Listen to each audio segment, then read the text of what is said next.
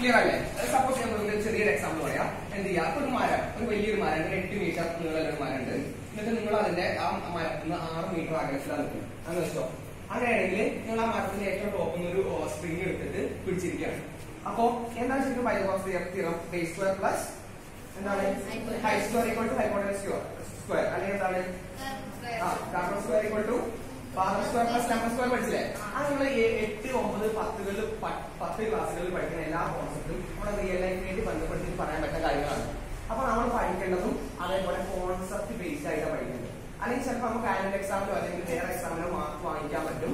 But ഈ concept പഠിച്ചാൽ പിന്നീട് നമ്മുടെ ഏതെങ്കിലും കോമ്പറ്റേറ്റീവ് എക്സാമോ അല്ലെങ്കിൽ NMS N T S C അല്ലെങ്കിൽ സിവിൽ സർവീസോ പി എസ് സിയോ എസ് എസ് സി ഏതായിട്ടാണെങ്കിൽ ഏത് കോമ്പറ്റേറ്റീവ് എക്സാം ആയി കഴിഞ്ഞാലും എന്താണ്? ഈ കാര്യങ്ങളൊക്കെ നിങ്ങൾ എട്ട് ഒമ്പത് പത്ത് ക്ലാസ്സുകളിൽ പഠിക്കുന്ന കാര്യം മാത്രമേ വരുന്നുള്ളൂ. ഇപ്പോ ഞാൻ സയൻസ് പഠിച്ചു വന്ന ഒരാളാണ്. പക്ഷെ പ്ലസ് വണ്ണോ പ്ലസ് ടുവിലോ പഠിച്ച സയൻസ് ഒരിക്കലും ഒരു കോമ്പറ്റേറ്റീവ് എക്സാമിൽ വരുന്നില്ല. നിങ്ങൾ ഈ പഠിക്കുന്ന എട്ട് ഒമ്പത് പത്ത് കാര്യങ്ങളിലായി ഈവൻ സിവിൽ സർവീസസിന്റെ സി സാറ്റ് എക്സാമിൽ വരെ വരുന്നുള്ളൂ. മനസ്സിലായോ? സോ ഇപ്പൊ ഈ പഠിക്കുന്ന കാര്യങ്ങൾ വളരെ കോൺസെപ്റ്റ് ബേസ്ഡ് ആയിട്ട് പഠിക്കുക. അങ്ങനെ കാണാതെ വെക്കേണ്ടി വരില്ല. കുറെ ഓർത്ത് വെക്കേണ്ടി വരില്ല. ഇടയ്ക്ക് റിവൈസ് ചെയ്താൽ മതിയോ അതൊക്കെ എങ്ങനെ പഠിക്കാം? ഈ കോൺസെപ്റ്റ് ബേസ്ഡ് നമ്മൾ പഠിക്കണം നമ്മൾ പറഞ്ഞു. പക്ഷെ അതെങ്ങനെ പഠിക്കും. ആനിമേറ്റഡ് വീഡിയോസ് അതേപോലെ എന്താ പറയാ ആനിമേറ്റഡ് ടൈപ്പ് അതല്ലെങ്കിൽ ശരിക്കും കോൺസെപ്റ്റ് മനസ്സിലാക്കി തരാനുള്ള പല വീഡിയോസും പല ഇതേപോലത്തെ ഇൻസ്റ്റിറ്റ്യൂഷൻസും കിട്ടുന്നുണ്ടാവും. മനസ്സിലായോ? അതല്ലാതെ ഞാൻ ബൈജൂസ് ആപ്പ് കുറച്ച് കിട്ടുന്നോ ബൈജൂസ് ആപ്പ് അതേപോലെ ഖാൻ ഡ്രൈവിംഗ് എന്ന് പറഞ്ഞ അടിപൊളി ആപ്പുകളും ഞാൻ ഇതേ ഒരു കാര്യം വേറൊരു സ്കൂളിൽ ഇന്നലെ പറഞ്ഞപ്പോ ആ കുട്ടി ഇതിലോട്ട് വേറൊരു കാര്യം പറഞ്ഞു. ഏതൊരു ആപ്പ് ഉണ്ട്. എന്താ എന്താണ് ആ ടോപ്പർ ഉണ്ട്? ടോപ്പർ എന്ന് പറഞ്ഞാൽ ഇതേപോലെ ബൈജൂസിന്റെ പോലെ വേറൊരു ആപ്പാണ് അതല്ലാതെ വേറെ ഉണ്ട് അതായത് മാപ്പ് മാപ്പ് ആൻസർ അങ്ങനെ എന്തോ വേണ്ട ആപ്പിന്റെ പേര്.